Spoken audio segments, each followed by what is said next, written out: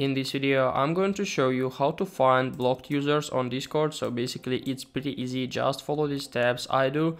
So let's block one of my friends to find him in the blocked list. For example, this one.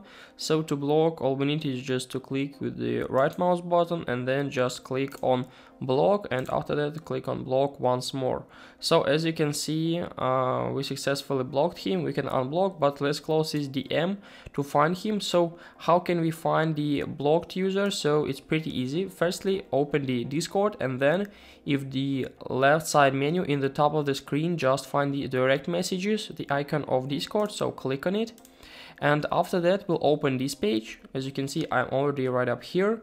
So then all we need is just to click on friends in the left side menu too in the top of the screen. And here in the top of the screen we can see different filters such as online all pending suggestion or blocked. So um, I think you understood that we need to click on blocked and we'll find all of our blocked users right up here. So if we'll click on this icon, we will unblock this user. So if we'll click on all right up here, uh, we can find that there's a right up, right up here. So it's now unblocked. I hope guys this tutorial was helpful for you. If it is, please like this video, subscribe to my channel and write your comment. Goodbye.